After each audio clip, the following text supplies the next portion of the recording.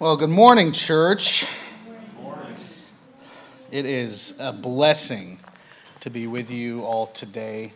It is, uh, I was telling my wife on the way up here, as I often do, it's one of my favorite churches to serve uh, through the pulpit ministry. One, because I love you all so much and I love the area so much. But this has got to be the coolest pulpit I've ever preached behind. As a as a pulpit thug, someone who preaches in a lot of churches, you you start to rate the pulpits and you just kind of do it subconsciously and this one this one's up there i gotta say. This one is pretty high up there. If you would please turn in your bibles to the book of philippians. We're going to be in chapter 4 looking at verses 8 and 9 philippians chapter 4 verses 8 and 9 And while you're turning there, let me commit our time in the Word to the Lord. Father, we thank you so much for the blessing of your Word. We thank you for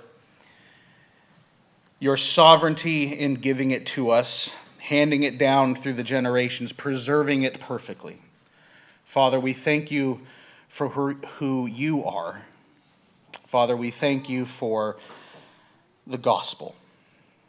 Father, as we dig into your word this morning, we pray, as has already been, been asked of you, that you will help all of us to hear what it is you would have us hear and to apply to our hearts the truths of Scripture. As we hear from your servant Paul this morning to the church in Philippi and an extension, the church here in Sedro-Woolley, we ask your grace and your mercy and the grace to be able to apply what it is you want us to apply. Father, I pray what my brothers and sisters hear from me this morning is all of your Spirit, nothing of me. We ask this in our Savior's name, Jesus. Amen. All right, Philippians 4, verses 8 and 9. This is what it says it says, Finally, brothers, whatever is true, whatever is honorable, whatever is just, whatever is pure, whatever is lovely, whatever is commendable. If there is any excellence, if there is anything worthy of praise, think about these things. What you have learned and received and heard and seen in me, practice these things, and the God of peace will be with you. Well, the grass withers and the flower fades, but the word of our God endures forever. If you are like me, and I hope some of you are, your emotions can heavily affect your actions. And if you're even further like me, you find that your emotions, how you feel in the moment, are heavily affected by your thinking. I can make a very very easy correlation between the thoughts that I have in my head versus the emotions and the way that I feel. And then those two things combined usually result in how I then act. And it's not a link that I think many connect, but I think it's something that we would be wise as Christians to connect more often in our lives. By ways of an example, I can remember dealing with this to the extreme almost in high school in that I remember uh, being a freshman and a sophomore in high school and being on the wrestling team. And I know, looking at me, my height and stature, you think all star basketball player, but I'm just trying to break stereotypes, trying to break some ground here, right? I was on the wrestling team, um, and I remember having such a visceral reaction to getting warmed up for the wrestling match. And if any of you have ever wrestled, I don't know if any of you have, but it can be scary, especially when you're a freshman and sophomore in high school and you're wrestling junior and seniors. There's a lot of physical development that happens from freshman year to senior year. It's just a fact. And I can remember very vividly warming up with my little hoodie and my ear in my my my my uh, my uh, headphones in and you know, warming up and looking across the mat, trying to figure out, okay, who is it that I'm going to wrestle? Who looks like they're in my weight class, right? And it was always the big buff guy. Always. It was always the guy that had arms the size of my thighs. And, and I would be looking, and, and I would get anxious and I would be scared. And I'd psych myself out to the point of having to go into the locker room and, and lose what very little I had in my stomach because I was so anxious. I was so scared, and my thinking took over my body, and my body did what it decided it was going to do. And I struggled with this for so long. So long. And it didn't occur to me then, but looking back now, I can see how in that moment I was not doing the, the, the hard work of bringing into captivity my thinking, of applying the truths that I know to my situation. And my mind was allowed to race and then take over my body and then everything was just awful at that point. The point is that our emotions are very closely tied to our thought life. And because of this, it's very important with, uh, with what we as Christians bring into our minds. It's very important what we allow ourselves to be influenced by, what we hear, what we see. I'm reminded of that that kid song, Oh, be careful, little mind, what you see, what you hear, what you think. And we tell our kids this because we understand that our kids are sponges, right? They just soak in so much. And anyone who's a parent understands the effect that different individuals, environments, TV shows can have on your kids. They start emulating the things that they see. And you know what? We're no different. We are no different. It might be a little bit more subtle for us who are adults, but it becomes very difficult because of that for us to see the blind spots in our own life, things that we are being affected by in ways that we might not even understand. The input will affect the output. And what fills the time will fill the thoughts. And what fills the thoughts will fill the speech and the actions. That's how it works. And this isn't a principle that we outgrow simply because we're not children anymore. Like I said, the issues can become much more subtle and harder to identify because they're not as blatant. But again, if you are like me, you're stubborn and you don't enjoy having those blind spots identified, either by you or even worse, by others. And the places that we need accountability or change become harder to locate the longer that we ignore them.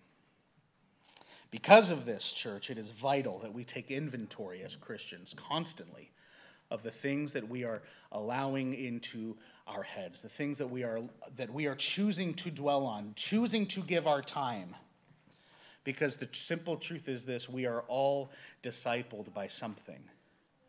And the thing that you give the most time in your life, the most devotion to, will be your closest disciple. That's just how it's going to work. It will disciple you one way or another.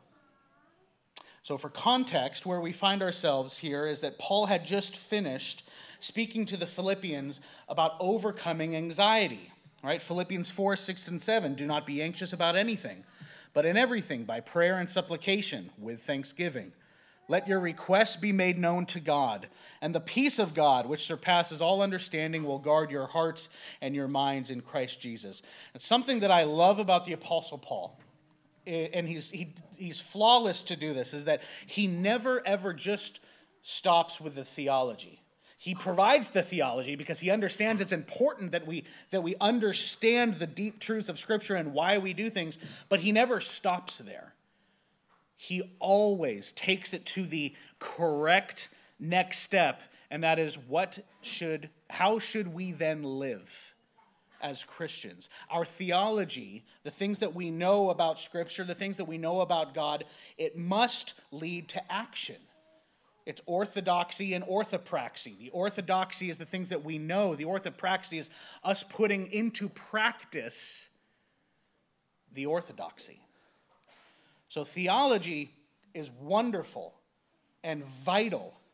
But if we are not allowing that theology to then change the way that we act, change the way that we think, we are not engaging in it correctly. If Scripture be our authority, our lives, our thoughts, our speech, our actions must be ruled by it and nothing else. It should be our sole authority as Christians. And if you want to bring your emotions, your anxiety, the things that we deal with as humans on a daily basis under subjection, we must start with using this barometer that Paul gives us here in Philippians with how to do that. He begins in verse 8. He says, Finally, brothers, whatever is true. Now, we're not going to be able to do as much of a deep dive in all of these things that Paul is going to give us as much as I'd like to for the sake of time, but we're going to cover each one to the best of our ability. And Paul starts with stating the things that we must be dwelling on as Christians. If we want our minds and our actions, our emotions to come into greater conformity to the Word of God, the person of Jesus Christ, he says the first and foremost thing is it must be true. This might seem obvious, but, church, we live in a world today where truth has become relative and subject to the opinions of everyone who has an opinion. We live in a world today where you can believe what you want to believe. Your truth is your truth. My truth is my truth. And I can't speak truth into your truth. Truth becomes something that is a flippant uh, word that is thrown around carelessly without any real definition, without any real anchor. But the truth is, we must have a standard. There must be a standard if something is to be true. And we as Christians believe that the standard for all truth is the Word of God. That is the standard by which we live our lives. That is the standard by which we call others to repentance. That is the standard by which we filter everything in this culture through the question, the important question what does the Bible say? If we live in lies, our life will reflect the lives that we are living in. We must be people of truth. The things that we choose to dwell on must be true. And Scripture is our barometer, our anchor, and our source for understanding what is true and what is false. Does it contradict what the Bible says? If yes, the answer is false.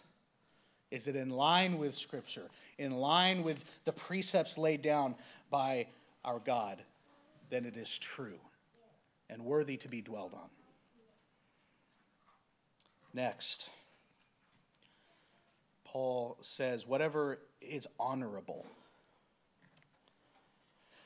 Honorable can be defined as something that is worthy of high respect or great esteem or an adherence to what is right. And it begs the question how do we, as God's people, judge and determine whether something is honorable or dishonorable? Well, we go back to the very first thing is it true? Does it line up with the standard of God's word? If it does, then it is honorable. Without the standard of truth, none of the following things that Paul gives are able to be actually truly defined. And that's why Paul started with truth. What does the Bible hold as honorable? What does the Bible hold as worthy of esteem? What does God say is worthy of praise? Does it bring honor to God? All of these questions as we, as we determine whether something is worthy of honor, worthy of giving our respect, worthy of giving our esteem. These questions must be asked.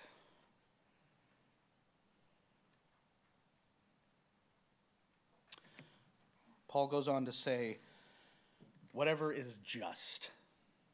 And this is an interesting one because I think the concept of justice in 2022 America is a very far and removed definition than what Scripture gives. And I think that we have seen here, specifically in the country that we live, an incorrect application of what is just. Justice is a very important aspect of how we are to evaluate things as Christians. Does it line up with the law of God? Primary. Because the justice, in order for something to be just, it must stem from the law that God has laid down. And we as Christians have been given the authority. We have been given the law of God. Jesus didn't come to abolish the law, He came to fulfill it. And even though He fulfilled it, does not mean that the law of God simply goes away.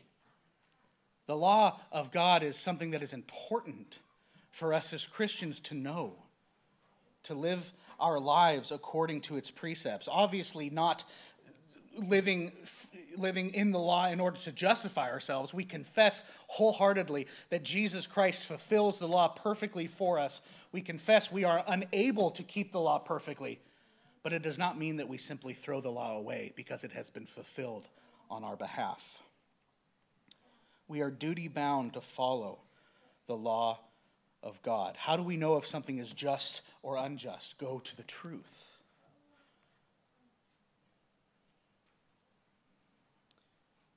And what's important to understand, especially within the last few years that we have had, is that the laws of men that are created in any country are subject to the law of God and that there will be times in our lives as Christians when we are called to both submit to the laws of men because they are in line with God's word and, and, and obeying these set of laws that we have in, in, in whatever country we find ourselves living in is not contrary to the word of God. And I believe in those situations we are called to submit. However, there are times when the laws of men begin to creep closer and closer to the line of defiling the law of God and begin to overtake the law of God and begin to say things that are contrary to the law of God. And it is at that point where we as Christians must, in all graciousness and all humility, plant our flag in the dirt and say, It's the standard of God that I am called to live by, first and foremost and primary all other laws, all other governments, all other people fall subject to the law of God.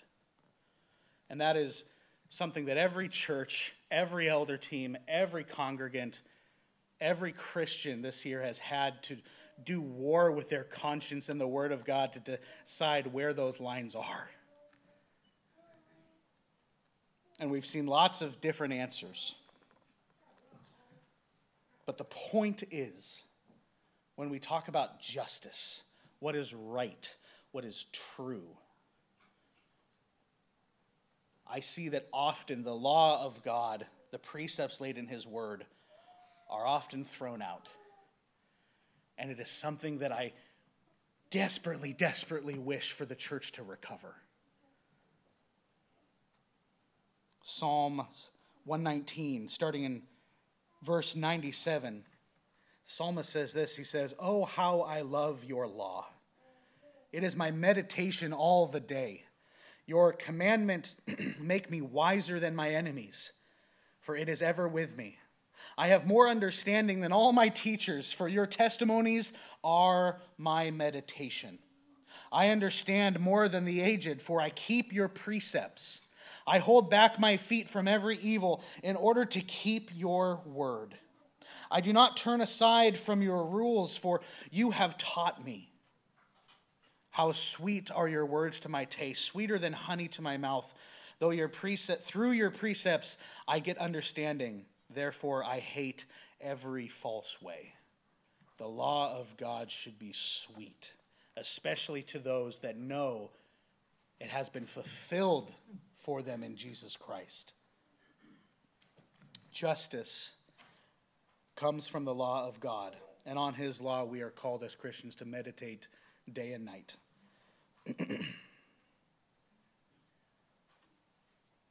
Paul then switches his focus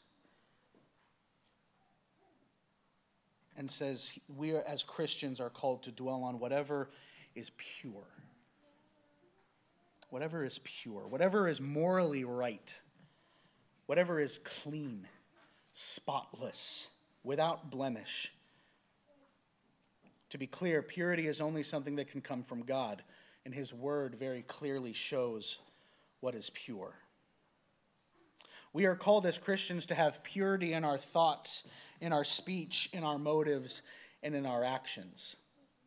And this is something that I find difficult for me to do in times of frustration. It is very difficult for me to keep my thoughts pure. And by pure, I mean not angry, not overly frustrated, not cursing those that have uh, in my estimation, created the circumstance that I am in. There's lots of ways that our minds and our emotions can be directed away from purity. And Paul says that one of the remedies for that is to be dwelling not on what is impure, but on what is pure. And there is a great link between the term purity and the term holiness. Holiness means to be set apart. It means to be to be different because of, of what it is, its substance. When we're speaking uh, ultimately about the holiness of God, He is set apart from all darkness, from all sin, from all things that that have uh, that are that are filthy and with blemish. To be holy, to be pure, means to be set apart from those. It's setting that barrier in your mind from things that you know cause your mind to drift.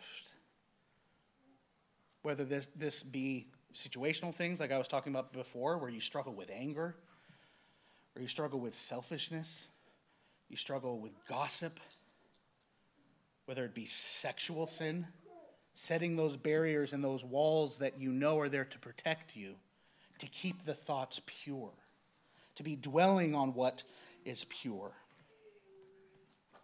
purity will look very different in a world that is so defiled.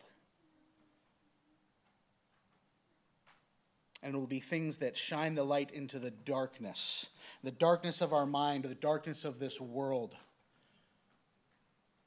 Those are the things that we are called to dwell on.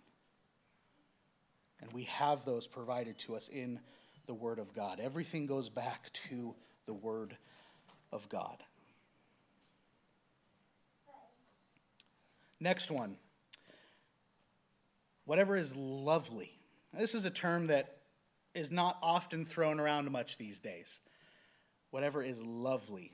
I can't think of any situation that I have actually in earnest called something lovely. Yeah, I can't. No, never have. But it could also be translated as pleasing or gracious, something beautiful, something something lovely, something very nice to dwell on, nice to look at. We are called to dwell on the things that please the Lord and bring a heart of graciousness in us. There are things in this world that God has created that could very easily be defined as lovely. I look at simple things like a gorgeous sunset. We were looking at the clouds coming up here and just the way that God shapes and forms them, just because he wants to. It's so lovely. I'm going to start using the term more, actually. I'm still, it rolls off the tongue. yes, yeah. There are things in this world that God has given us that are very, very pleasing. And He is a good God that loves to give good gifts to His children. And we are right.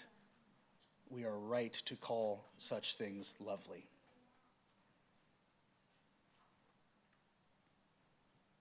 Next. Church, we as Christians are called to dwell on whatever is commendable. Commendable. We are to focus on the things that are held in high regard, that have good reputation, that are able to be commended to others as good or right. You should think about this. You should do this. You should dwell on this because it is commendable. It's good. It's right that you should do so. These are the things that are thought well of and considered commendable not by men, but by God. Practically, just for means of an example, these can manifest themselves in virtues that I think all Christians should emulate. Commendable virtues like graciousness, courtesy, humility, patience, hospitality, courage. All commendable attributes of the Christian. All things that we should be able to look at as Christians and say, we need more of this because it makes us more like Jesus commendable.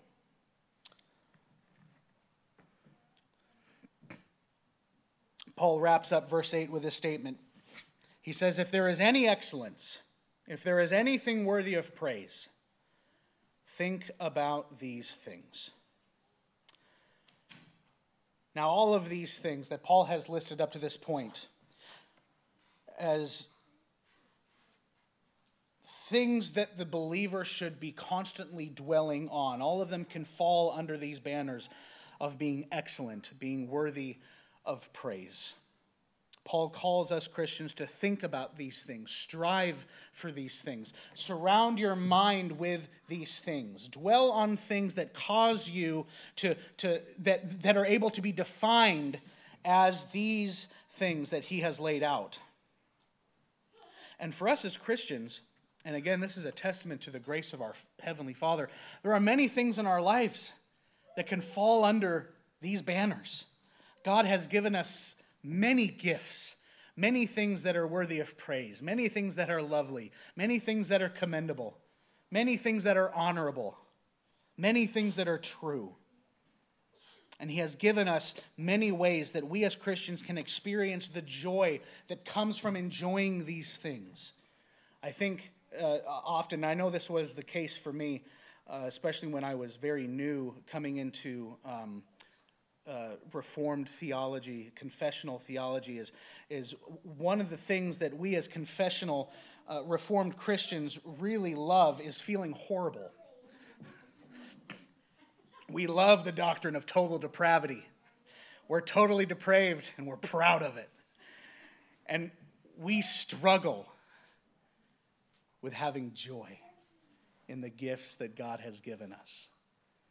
And it's something that I know I have struggled with, but something that the Lord has been gracious to show me that here are simple, good gifts that I have given you, that it is right for you to revel in, right for you to have joy in.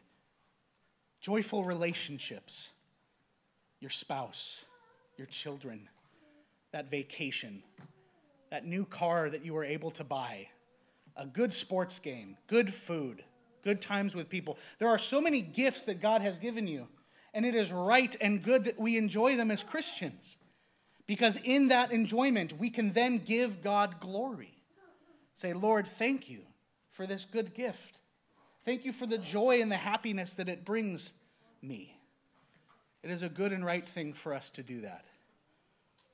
It is not a bad thing to find joy or to dwell on the good blessings that God has given us. But it is important that with that being true, and I believe, I believe this is the point, all of these attributes that Paul has listed truth, honorability, justice, purity, loveliness, commendability, excellence. Not only are we as Christians supposed to be dwelling on them, and filling our minds with things that fall under these, but we should also be dwelling in them. And this is the orthodoxy, orthopraxy that I've been speaking of. There's, there's, there's a difference between understanding the truths behind what Paul is talking about and living in light of the truths, living as if we believe it is true.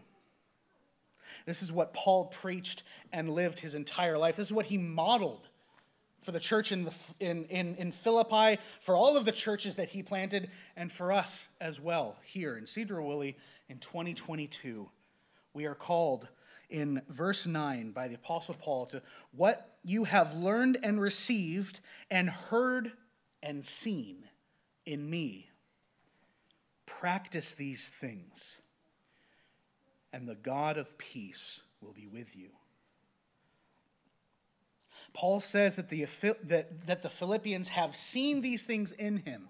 Not only has he spoken the truth to them, but his life has modeled the very truth that he confessed to them. They are able to see the joy that emanates from the Apostle Paul, not only in his writing, but also in the way that he lived. Paul calls them to emulate him, just as he emulates Christ. And he calls us to do the same. And one of the questions that I have this morning, and something that I asked myself often going through this passage in preparation for you, and something that I still in no way means have, have under my belt. But can the same be said of us as followers of Christ? Can I say, honestly, if I'm going to take true, real, honest inventory of my life, that I can say, like Paul, you see how I had joy here in this situation? You should emulate me. Right? Now, it might seem like a very arrogant statement to make, but all of us as Christians should strive to have lives that are able to be emulated strive to have lives that, that look like Jesus. So that when people look at me, they don't see Josh, they see Jesus. All of us should strive to have lives like this. Can my life, my thoughts, my actions, my thinking, can it be characterized as pure? Can it be characterized as commendable? Can it be characterized as lovely? Can it be characterized as being worthy of emulation itself? And I confess to you, my friends, that that answer changes, sometimes multiple times a day. Some days, I think I'm doing all right. And some days, boy, I don't feel like I'm a Christian at all. How do we get to this point? Because I want it. I desperately want it. I want that life that's able to be emulated. I want a mind that is more prone to dwell on what is good and what is lovely than what is wrong and frustrating. I want that.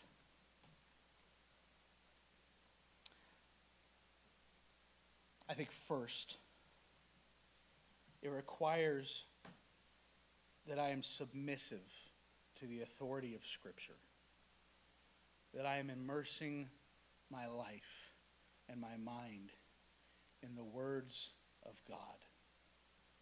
Because we were all discipled by something.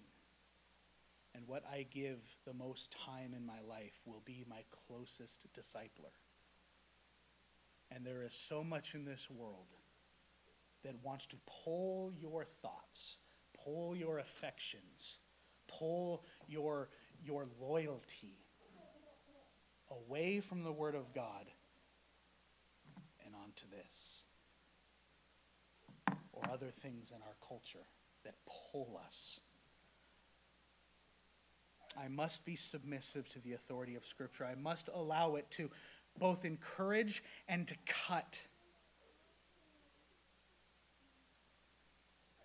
and it is a hard process. Sanctification is often not an enjoyable process. The removal of my flesh and the putting on of Jesus Christ is often not an enjoyable process, but it is one that is necessary. And it is one that leaves me at the end looking more like my Savior than I did before. The more we are in the Word of God, the more the Word of God will be in us. And I believe that is the point.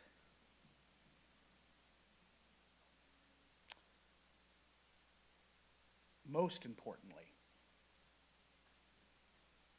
I believe that we must understand that all of this striving, all of this effort, all of this trying to live according to the Word of God and to dwell on the things that are good, that are right, that are commendable, all of that will be utterly hopeless if it is not rooted in the correct and right foundation. It's one thing to be dwelling on the good blessings that God has given us, which again is a right and good thing to do. But it's a completely different matter to dwell on the one that embodies these characteristics perfectly. That is a completely different matter altogether. There is nothing in this world that will bring peace to the weary heart or the raging mind most sufficiently than the Prince of Peace himself. It must be paramount in our lives that we are to dwell on the one that embodies these characteristics. We will be discipled by something. Is it the news? Is it the podcasts? Is it YouTube? Is it politics? Or is it Jesus? There is no one in this world more true than Jesus. There is no one in this world more honorable than our King.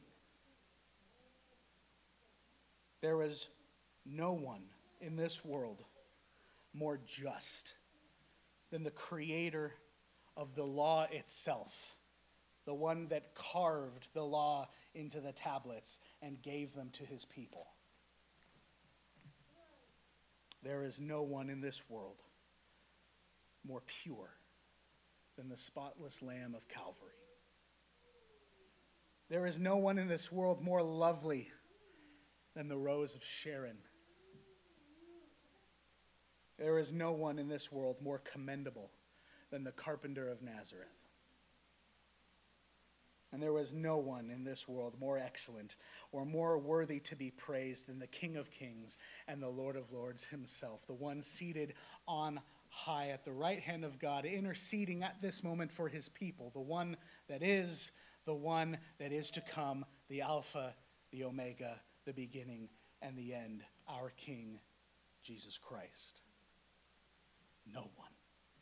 There is nothing in this world. All of the greatest blessings that we have on this world, although they are good and we thank God for them, they pale in comparison to the glory and the loveliness of our Savior, Jesus Christ. Church, if you are going to, to wage war against, against your mind, against your flesh, and bring it into subjection, it's going to take something stronger than anything this world has to offer. It's going to require a conquering king to take over your mind, bring it under subjection, and be seated on its throne.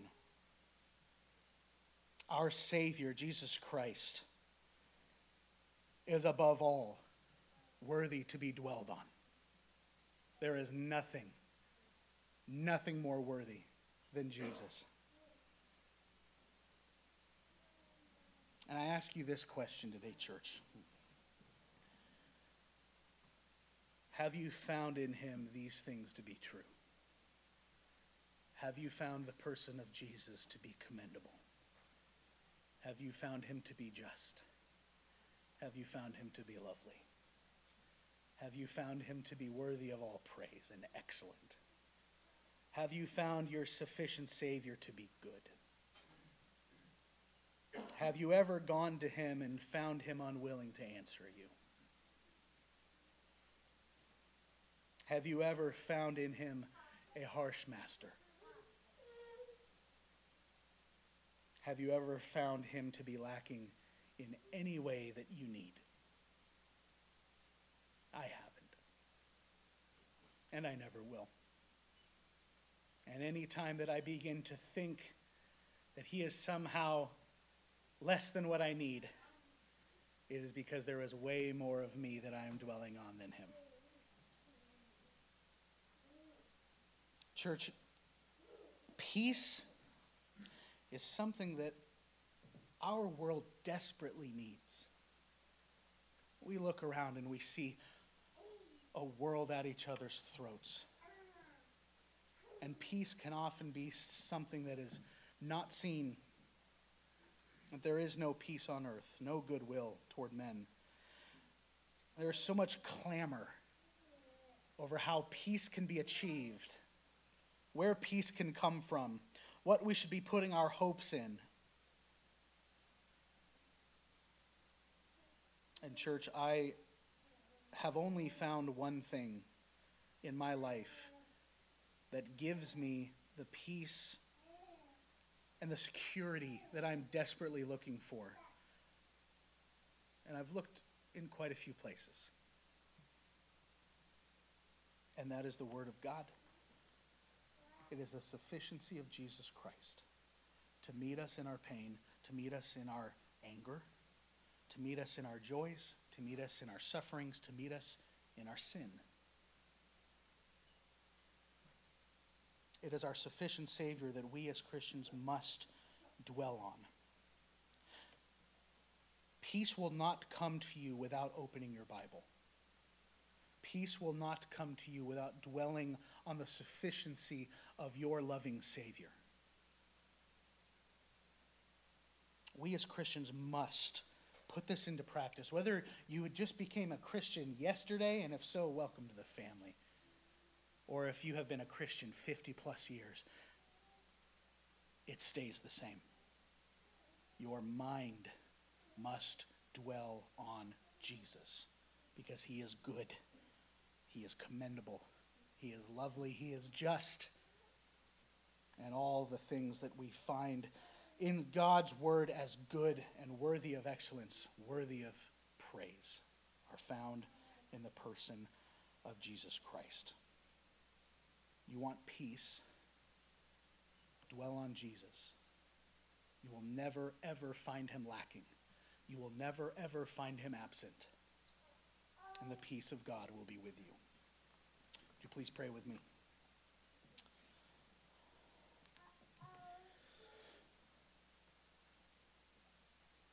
Father, we are a very, speaking for myself, frightened people a people with many cares and worries and fears. Father, we live in a world that bombards us with information, bombards us with opinions, infiltrates our minds and tells us how we are to think, tells us how we are to feel. And the still small voice